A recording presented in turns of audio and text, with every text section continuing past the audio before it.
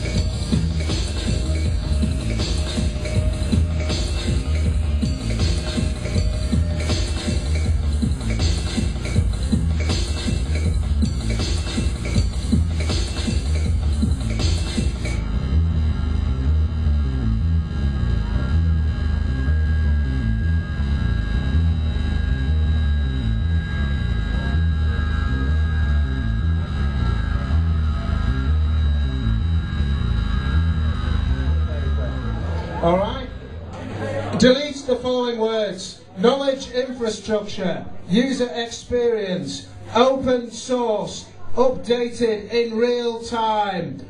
Delete these from your memories now. What is the etymology of application? I'll leave you with Bertha. Dankjewel. Hey,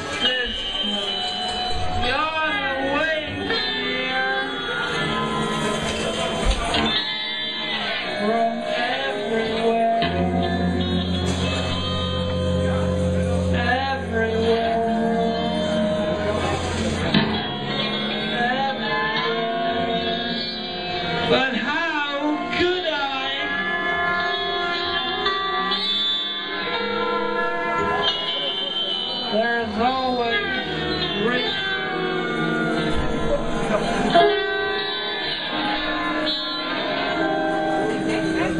The Brooklyn Bridge, Brooklyn Bridge,